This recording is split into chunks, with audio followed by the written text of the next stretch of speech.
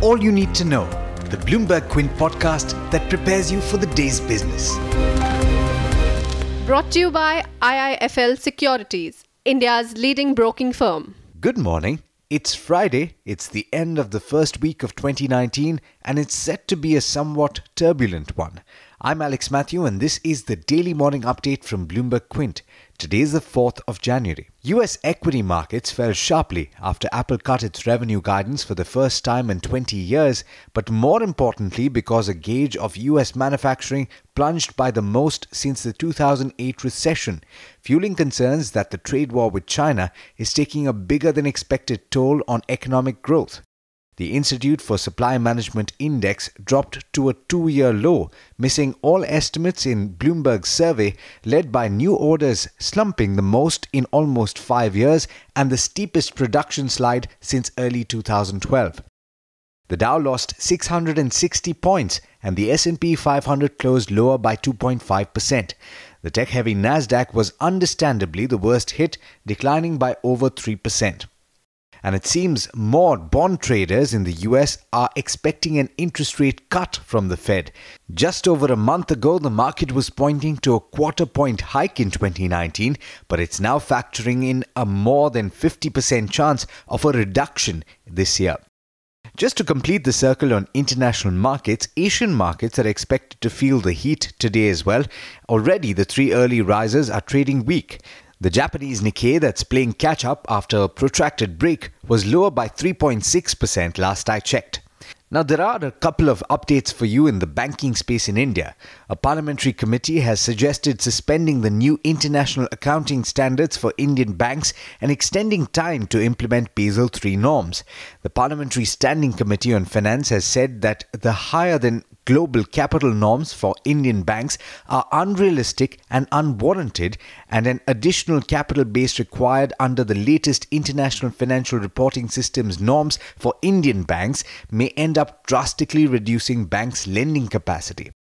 In other news, the country's top bankers have shot off a letter with a list of requests for the RBI, hoping that the central bank under new Governor Shaktikanta Das will be more receptive to their concerns.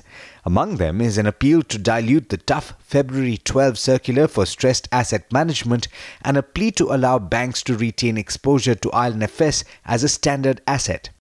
The National Company Law Appellate Tribunal yesterday asked the Ahmedabad bench of the National Company Law Tribunal to expedite its decision on the Essar Steel insolvency case, where remember ArcelorMittal emerged as the highest bidder.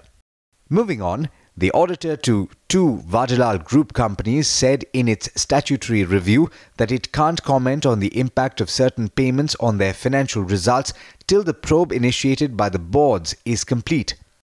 Vadilal Industries and Vadilal Enterprises on Thursday filed the limited review reports to the second quarter earnings by Deloitte Haskins and Sells after a delay of more than 45 days. Reliance Communications has filed a second contempt plea against the telecom department for not giving its approval for the sale of its spectrum to Reliance Jio Infocomm.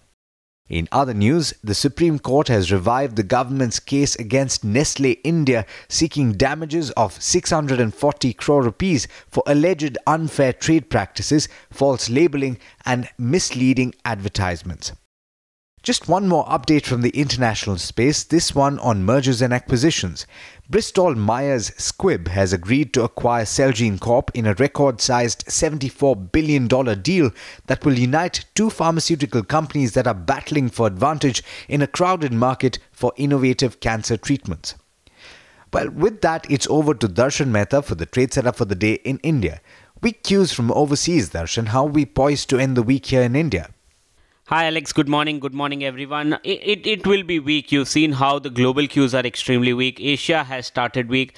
The SGX Nifty is pointing downward. So yes, we are uh, poised to end the week on the uh, on a weak note at this point of time. The other factor is that crude has also dropped after four days of rally. Uh, there are mixed cues coming in from the LME, but mostly on the negative side. Even though aluminium was up 2%, copper, zinc, and lead were down anywhere between 1 to 2%. Chinese commodities have started weak and gold is trading up for the seventh day. Now, we've started with the earnings season with GM Breweries coming out with numbers, extremely weak set of numbers. Now, even though revenues were up 6%, profit was down 25%, EBITDA was down 27%, which means EBITDA margins came in at 20% versus 29%.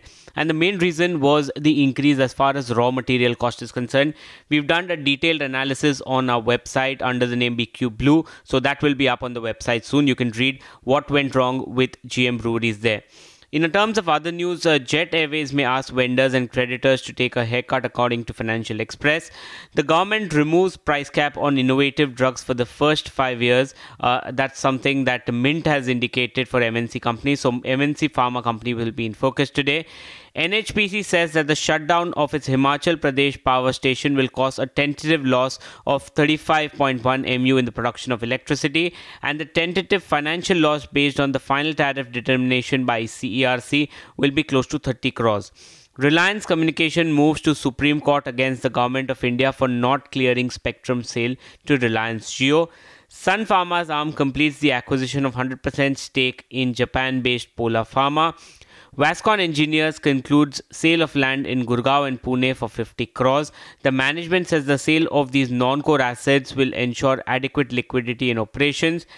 Uh, power companies will be in focus. Uh, Torrent Power has been appointed as the distribution franchisee for distribution in three subdivisions under the Thane Urban Circle for 20 years.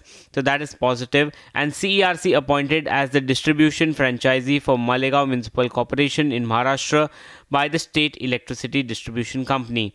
In terms of bulk deals, Norges Bank acquired 3 lakh shares, which is close to 0.6% stake in VA Tech Wabag. Yesterday, after Stewart and Mackertich, today UBS has hiked the target price on Federal Bank to 120 from 95. They're saying that the strong operating growth to drive re-rating Phillip Capital is bullish on Marico. They've raised the target price to 425. They are saying that the commodity windfall to aid margins in the medium term and international business is poised for double digit constant currency revenue growth. Phillip Capital is also bullish on the specialty chemical. They believe sustained product prices to drive value growth. Their top picks include Aarti Industries, Vinati Organics, Atul Limited, and Camlin Fine. But there's much more you need to know before trade actually starts. For that, log on to our website, bloombergquint.com, and click on the All You Need to Know tab, and you'll be prepared for morning trade. Thanks, Darshan, and thank you all for listening in. That's all we have for you on this podcast. Have a lovely day and an even better weekend ahead. I hope you enjoyed listening to All You Need to Know. Did you know that you can listen to the show on the IVM Podcast app? On the IVM Podcast app, along with this, we have a number of other shows which you think you'll enjoy. Listen to Cyrus Says with Cyrus Broacha as the host. Listen to Paisa Vaisa with Anupam Gupta. The Scene and the Unseen with Amit Varma or Shunya One hosted by Shiladitya Mukhopadhyay and myself. Check out the IVM Podcast app to get more talk content that you will enjoy.